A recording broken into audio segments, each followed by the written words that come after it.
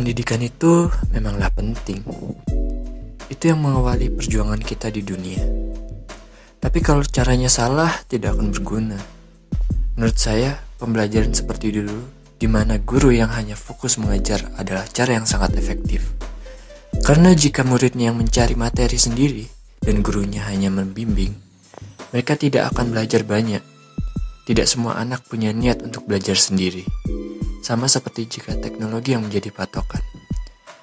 Mereka yang malas tidak mungkin belajar untuk mengerjakan, melainkan hanya mengcopy paste jawaban dari Google dan tidak belajar apa-apa.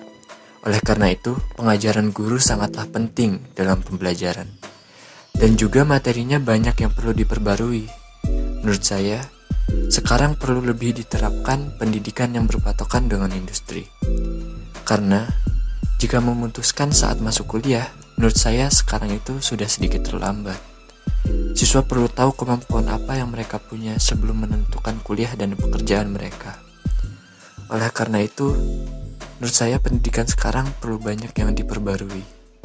Ada beberapa seperti pengajaran yang harus melihat kembali ke belakang dan ada beberapa yang harus melihat ke depan.